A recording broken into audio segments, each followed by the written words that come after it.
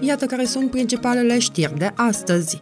Nemulțumiri la împărțirea bugetului pe anul 2016, Consiliul Județean Brașov a avut discuții aprinse la repartizarea sumelor. Grupul PSD nu a fost de acord cu modul de alocare a banilor, drept urmare nu a votat proiectul de buget. Reprezentanții social-democraților spun că banii s-au dat pe criterii politice și nu după necesitățile reale ale localităților. Inspectoratul pentru situații de urgență poate de acum să pună lacăt pe localurile ce nu respectă siguranța la incendiu și asta deoarece s-au stabilit exact cazurile pentru care se aplică această măsură. Consilierii locali făgărășeni au luat act de noile prevederi legislative ce vizează prevenirea incendiilor. Totodată și primarul are noi responsabilități, totul pentru ca populația să fie la adăpost față de astfel de dezastre. Pe munte, poteci alunecoase din cauza ghețușului. În această perioadă, multe trasee sunt deosebit de periculoase pentru turiști, însă șeful salvamontiștilor din Victoria, Thomas Bros, spune că un echipament adecvat condițiilor de pe munte este salvator și asigură o drumeție lipsită de evenimente neplăcute.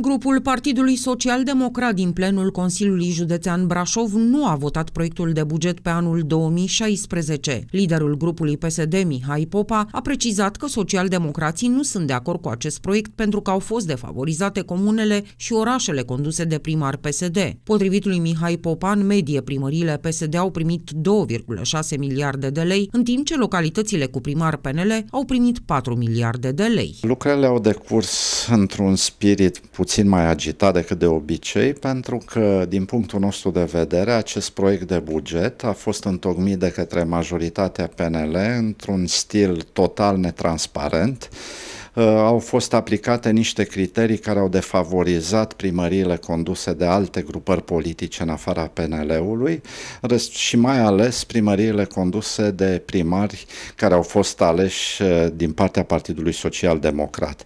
Uh, nu cred că este bine să fie defavorizate anumite comunități pentru simplu motiv că liderul comunității, primarul de respectiv, are o anumită culoare politică și cred că ar fi trebuit să fie făcută o repartiție bugetară în cadrul județului nostru, în special pe proiectele și nevoile localităților respective.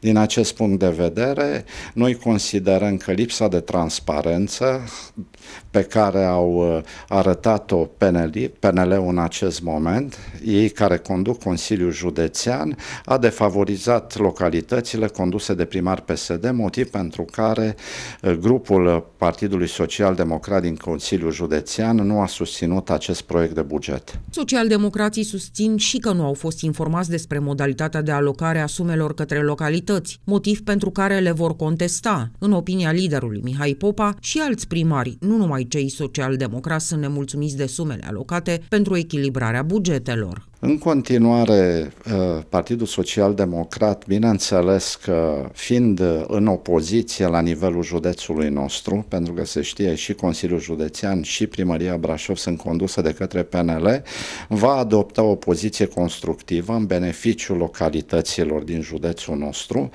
Bineînțeles, acum uh, decizia va fi în mâna prefecturii, care are posibilitatea să conteste acest proiect de buget. Uh, noi credem credem că până în acest moment Partidul Social Democrat a dovedit prin reprezentanții săi că este dispus să colaboreze, să nu uităm uh, investițiile făcute de fostul guvern în județul nostru, drumuri județene care au fost clasate ca drumuri naționale și preluate de Compania Națională de Drumuri și Autostrăzi în zona Zărnești, în zona Rupea Șercaia, drumul Rușinii, în care au fost investiți mai bine de 20 de milioane de euro, Cred că noi ne-am făcut datoria cu prisosință și ne-am fost deschiși colaborării până în acest moment și totul a fost făcut numai în interesul locuitorilor din județul nostru. PSD a solicitat să se acorde sume mai mari către Vama Buzăului, Hălchiu și Mândra. Dintre localitățile urbane, cele mai mari sume pentru echilibrarea bugetelor au fost alocate municipiilor cu primarii PNL. Făgărașul a primit 811.000 de lei. În mediul rural, cele mai mari sume pentru echilibrarea bugetelor merg la Vama Buzăului și Prejmer, fiecare primind 638.000 de lei. Apoi, Comuna Lisa din zona Făgărașului primește 358.000 de lei și în Caticuș sau Viștea primesc fiecare câte 318.000 de lei. Toate au primari liberali. La polul opus, cele mai mici sume merg spre Augustin, PSD, Beclean, UNPR și Crisbaf, PSD, care primesc 159.000 de lei și Comuna Cristian, condusă de primar PSD, care primește 38.000 de lei. După discuții aprinse, proiectul de buget a fost aprobat cu 25 de voturi pentru, din totalul celor 32 de consilieri județeni prezenți sală, doar că socialdemocrații susțin că îl vor contesta.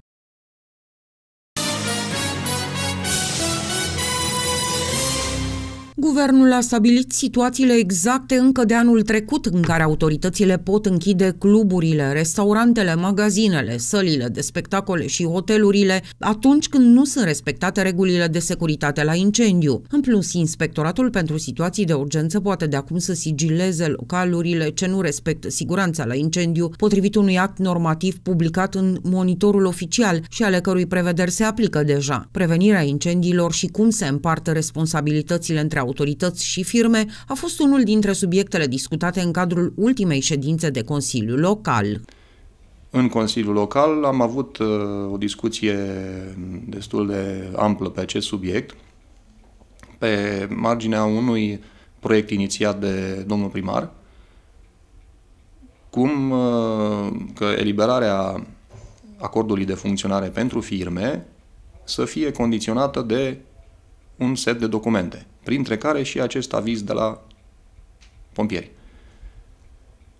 Cum am spus, uh, nu este normal ca cineva să-și asume răspunderea pentru cei care nu respectă legea. În momentul acesta sunt uh, valabile normele vechi, deoarece proiectul în forma inițială a picat, a picat pe motivul uh, unor uh, amendamente care au fost propuse și anume, avizul de pompieri trebuie obținut de proprietar, proprietarul clădirii în care se desfășoară o anumită activitate economică majoritatea celor care desfășoară activități economice sunt chiriași. Conform legislației, operatorii economici sunt obligați să-și ia autorizație sau aviz atunci când solicită certificate de urbanism sau pentru lucrări de schimbare a destinației sau de modernizare la construcții și amenajării. Tot legislația stabilește că Inspectoratul pentru Situații de Urgență și autoritățile locale trebuie să încadreze clădirile, inclusiv cele ale operatorilor economici, în clase de risc și să le verifice periodic, iar primarul trebuie trebuie să asigure controlul respectării măsurilor de apărare împotriva incendiilor pe timpul adunărilor sau manifestărilor publice. Recomandarea mea este ca fiecare proprietar să, se, să înceapă demersurile pentru să verifice legea în primul rând, să consulte legea, pentru că nu toți sunt obligați, nu toți agenții economici sunt obligați să obțină acest acord PSI. Din câte știu eu, doar cei care desfășoară activități de producție, comerț, depozitare, de exemplu, cei care fac prestări de servicii, nu sunt obligați. Proprietarii care au clădiri cu destinație mixtă, locuințe plus activitate comercială, au de asemenea această um, obligație, însă fiecare cred că ar trebui să se pregătească și să înceapă demersurile pentru obținerea acestor, acestui aviz. Ce obligații au primarii? Legea 307 din 2006 privind apărarea împotriva incendiilor arată la articolul 14 care sunt obligațiile primarului. Acesta dispune verificarea îndeplinirii măsurilor stabilite prin avizele, autorizațiile și acordurile pe care le emite, asigură prin mijloacele avute la dispoziție desfășurarea activităților de informare și educație anti-incendiu a populației, îndeplinește orice alte obligații prevăzute de lege pentru apărarea împotriva incendiilor a comunității comunității locale.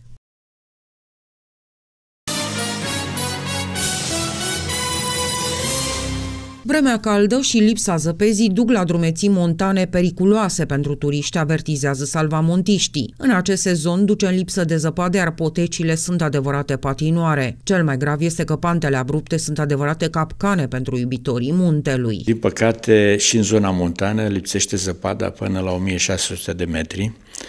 În schimb, asta vreau să fie o atenționare pentru turiști, e foarte multă gheață pe poteci și pe drumurile forestiere. Există mare pericol de alunecare, foarte mare, chiar și pentru mașini. Președintele Asociației Naționale a Salvatorilor Montani din România, filiala Victoria, Thomas Bros, susține că cine iubește muntele nu-l ocolește în niciun anotimp. Indiferent dacă e zăpadă sau nu, turiștii dornici de mișcare, natură și de aer curat merg la sfârșit de săptămână la cabană. Pentru a evita accidentările este necesar ca echipamentul să fie suplimentat cu piese noi. Bocancii speciali, colțarii și bețele de schi ajută drumeții să se deplaseze mai ușor pe potecile pline de gheață. Recomandăm uh, uh, cei care totuși îndrăznesc sau vor să urce neapărat la cabana sâmbătă, de exemplu, uh, să-și procure colțari și să urce cu colțarii și ca mașina să o lase cât mai jos la poalele muntelui. Zona Făgărașului era renumită pentru cabanele sale. Multe dintre ele s-au închis. Vorbim despre cea de la Urlea și Podragu. La fel și cabana Turnuri. Pentru făgărășenii care iubesc muntele, a rămas doar cabana de la Sâmbăta. În zona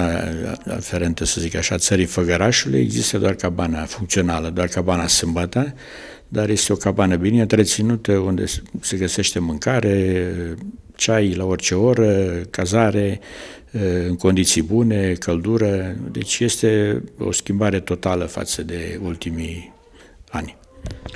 În legătură cu competițiile sportive, dacă îmi vorbeați de concursuri de schi, când ar fi programate și la ce vă gândiți pentru acest sezon? Eh, nu putem programa. Noi ce am programat nu ne-am putut ține. Nu este zăpadă de schi și oricum eh, o să ne le reprogramăm după ce va ninge în masiv și după ce vedem eh, în ce stare este zăpada. Acum există foarte mare pericol. Dacă ninge mult, crește pericolul de avalanșă și nu știu cât se va face legătura între stratul care este acum, care este mai mult gheață, și atunci, în funcție de starea zăpezii din în perioada următoare, în, să zic așa, în februarie-martie o să facem o programare. Sunt în jur de 5 eh, concursuri eh, în cadrul Cupei Carpaților Meridional care se vor desfășura în zona Valea Sămete. Meteorologii anunță că în zonă vor cădea precipitații sub formă de lapoviță și ninsoare, iar temperaturile vor urca în timpul zilei până la valoarea de 4 grade Celsius. Noaptea vor scădea până la minus 3 grade Celsius.